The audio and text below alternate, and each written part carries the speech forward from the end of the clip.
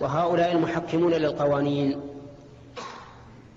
ليست قضية معينة خالف فيها الكتاب والسنة لهوى أو لظلم ولكنهم استبدلوا الدين بهذا القانون. جعلوا هذا القانون يحل محل شريعة الله وهذا كفر. حتى لو صاموا وصلوا وتصدقوا وحجوا فهم كفار.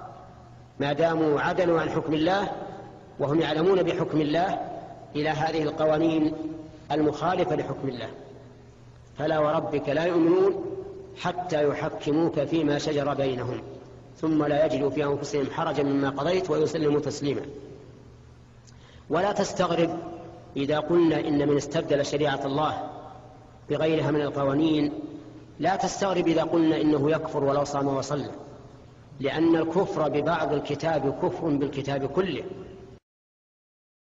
الشرع لا يتبعض. إما أن تؤمن به جميعا وإما أن تكفر به جميعا. وإذا آمنت ببعض وكفرت ببعض فأنت كافر بالجميع. لأن حالك تقول إنك لا تؤمن إلا بما لا يخالف هواك. وأما ما خالف هواك فلا تؤمن به. هذا هذا هو الكفر. اتبعت الهوى واتخذت إلهك. واتخذت هواك إلها. فالحاصل المسألة خطيرة جدا. المسألة من أخطر ما يكون بالنسبة لحكام المسلمين اليوم. فإنهم قد وضعوا قوانين تخالف الشريعة وهم يعرفون الشريعة ولكن وضعوها والعياذ بالله تبعا لأعداء الله من الكفرة الذين سنوا هذه القوانين ومشى الناس عليها.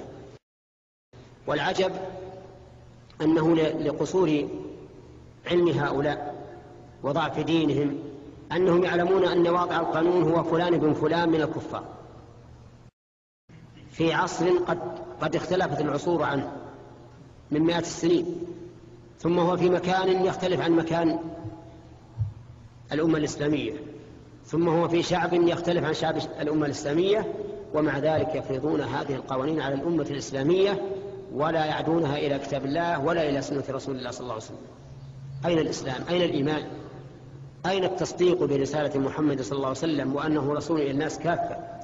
أين التصديق بعموم رسالته وأنها عامة في كل شيء؟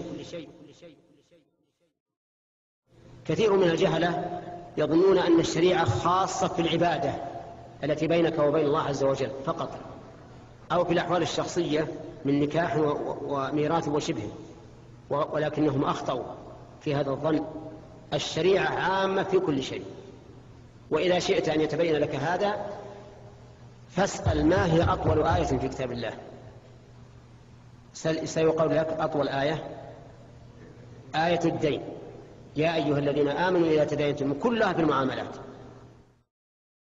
كلها في المعاملات. كيف نقول أن الشرع الإسلامي خاص بالعبادة أو بالأحوال الشخصية. هذا جهل وضلال. إن كان عن عمد فهو عناد واستكبار وإن كان عن جهل فهو قصور. والواجب أن يتعلم الإنسان ويعرف. نسأل الله لنا ولهم الهداية. المهم أن الإنسان لا يمكن أن يؤمن إلا بثلاثة شروط. إلا بثلاثة شروط. الأول تحكيم النبي صلى الله عليه وسلم. والثاني أن لا يجد في صدره حرج.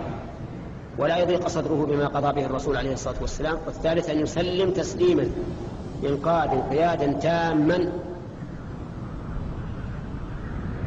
فبهذه الشروط الثلاثة يكون مؤمنا. وإن لم تتم فإنه إما خال من الإيمان مطلقا وإما ناقص الإيمان.